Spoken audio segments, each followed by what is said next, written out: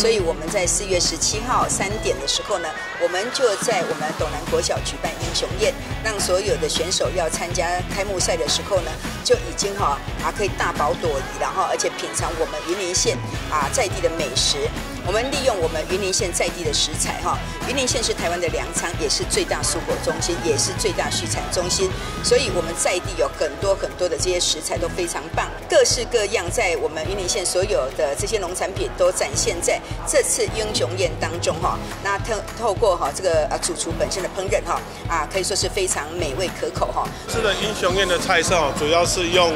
云林良品下去做制成了哈，它经过我们的烹饪跟手艺之后，把它变成美味的菜肴了哈。它用云林半桌澎湃的心态在设计这些菜单，让大家来参加全中运的选手们满载而归，然后心路满满，然后好运旺旺来。